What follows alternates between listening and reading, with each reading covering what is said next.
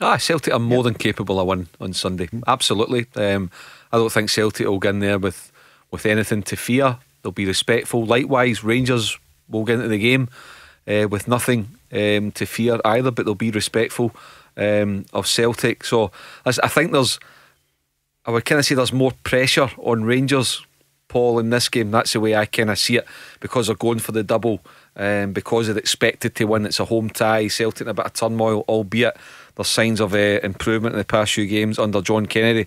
I think from Celtic's point of view, um, if John Kennedy, if Celtic winning Sunday, Paul, I think the job becomes John Kennedy's to lose. Now, I don't think they'll appoint him on the Monday morning, mm-hmm. but I think it puts him in the driving seat. And if he can go through and, and you know not lose to Rangers at Ibrox in the league game um, on on May the second, go on and win the Scottish Cup, I think it's his to us because I think that I think that uh, Eddie Howe and his people are kind of leading Celtic a merry dance. I think Celtic are being used, mm. and they need to be wise to that. They can't allow themselves to be used. So after that, you start looking down at the candidates, the realistic contenders.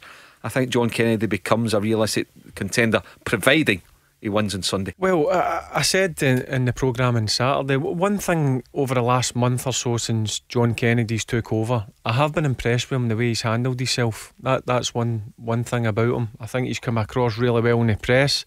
And you just heard you, you put a clip up just as the, the the show started there that he spent a lot of time now on the training ground working on certain things. Um, and I think you've seen that on Saturday because uh, we watched the game in here, and I've got to be honest, once James Forrest scored that vital first goal, they were in control of the full game. Mm. Um, they strolled it, and it, it could have been a cricket scoring end. So th- that is the best I've seen Celtic this season. Could you see him as manager next season?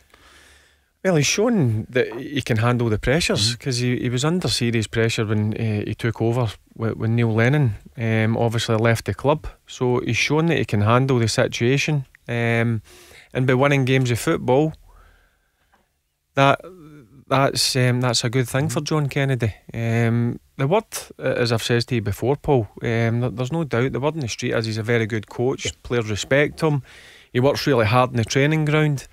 And I think with the performance on Saturday, John Kennedy wants to spend time on the training ground. And I think you've seen with the performance and the way he set up, that's starting to take fruit. Mark, if you were a betting man now, would you say that John Kennedy is the favourite if I, they can win? Yeah, I, I, I think Paul. It comes down to if the Celtic board, if Dermot Desmond and the Celtic board believe that they can shift thirty million pound of season tickets on the back of John Kennedy, if they can get the fans to buy into John Kennedy, I think they want to give him the job. But there's a nervousness because there's 30 million quid riding on on the, the appointment. Now I can see a narrative developing um, from inside Celtic that's all pointing towards all the good things about John Kennedy. I can see wee things being released uh, about him that, that, that's taught, and I get all that. It's fine. I think the way John Kennedy uh, has represented himself first and foremost, I think he has um, represented himself very well. I think he speaks very well. I think when Celtic fans and the Celtic players hear that quote at the weekend, whether you agree with it or not, but we are the best team in the country when we're on form. That's what Celtic fans, that's what the players, that's what they want to hear, that's what the supporters want to hear. But you've then got to go out and back that up. Mm. You're setting yourself up for a fall, but he wouldn't say it unless he believes that his players can go and back that up mm. and see if the players really do want him to get the job. See if there is that in there, as Barry says. We'll go out and win some games of football for the guy and he will get the job.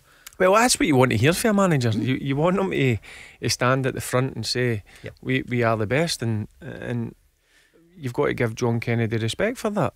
So, what the players need to do, they they certainly shown on Saturday mm. that they want to play for him, and it looks to me they were playing with a, with a freedom. That's what I've seen in, in Saturday for the Celtic team, and that's why I can't wait mm. for next Sunday because Celtic are, have hit a bit of form. Rangers are obviously in real good form, unbeaten. That's why I can't wait to Sunday at three o'clock. Tell Alexa to launch Go Radio or listen on the Go Radio app.